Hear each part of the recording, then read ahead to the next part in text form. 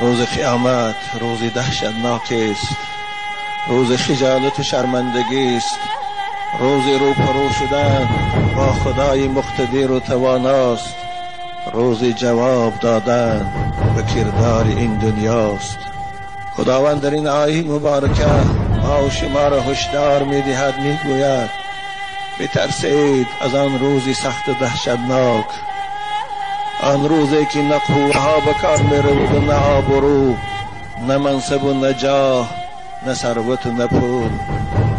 نه خویش و تبار واتقوا یوما ترجعون فیه الى الله. بازگشت آن روز فقط به سوی خداست. حاکم آن روز فقط الله است. حکم برار و جزا دهنده الله است. ثم توفى كل نفس ما کسبت هر انسان